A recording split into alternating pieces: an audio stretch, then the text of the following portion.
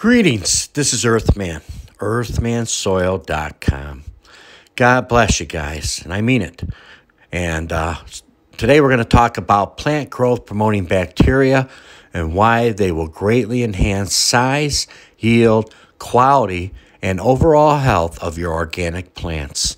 And if you want to compete or maybe even outdo chemical or organic liquid nutrients and grow huge, healthy, genetically dense plants, you're going to need growth promoting bacteria. And as we are learning, these growth promoting bacteria do so much more than make uh, locked nutrients that are in your soil available to your plants. Today's bacteria of the day is Frateuria aurantia. So let's go ahead and take a closer look at the purpose of potassium for plants. First of all, it's a macronutrient. In other words, your plant needs a lot of it. Matter of fact, it's second only behind nitrogen. So, what does it do? Well, it's needed for the movement of water, nutrients, and carbohydrates throughout the plant and plant tissues.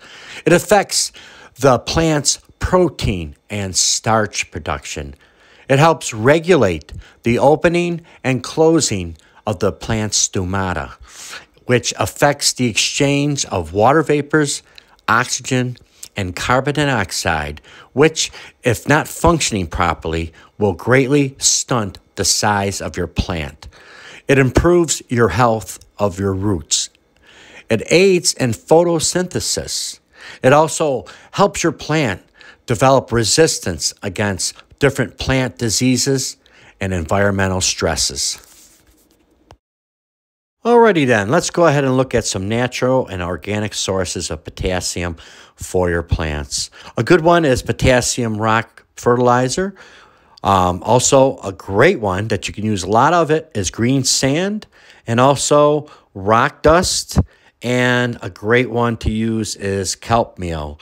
Also, some people use wood ash left over from their fire and dried up banana peels. After they've been dried out, they'll crush them up and put them in their garden. Let's go ahead and look at some potassium deficiency signs to what to look for in your plant. First of all, you'll have yellowing in the margins of your plant with yellowing and then brown scorching leaf tips. This will usually start with the older leaves and work its way up. Also, there will be some purple spotting underneath the leaves and on top.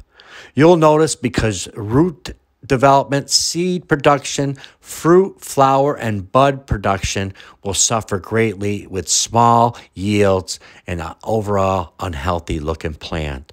Also, your plant will be more likely susceptible to plant diseases and different stresses that will affect it, like heat, lack of moisture, and other things such as that. All right, my friends, let's take a closer look at this amazing growth promoting bacteria, Frateuria aurantia, potassium mobilizing bacteria. First of all, it helps your plant have a better resistance to environmental stresses such as heat, cold, and drought. Your plant's overall size, biomass, yield, nutrient content, and overall quality will be greatly improved, along with the leaf structure and also your plant's overall health. Also, it helps create healthy soil by likewise the organic acids and enzymes that help the plant's other function also helps the colonization and health of your microbes in your plants rhizosphere. It also helps increase your plant's overall metabolism and likewise, it frees potassium up that's locked up in your soil and makes it readily available to your plant. So that's about it, guys. God bless you guys. And I hope that you learned something from this. And I hope that it helps you make a decision that you need living soil. And here at Earthman Soil, we have everything that you need when it pertains to living soil. May God bless you this day. Enjoy your day. That's an order. Have a good one.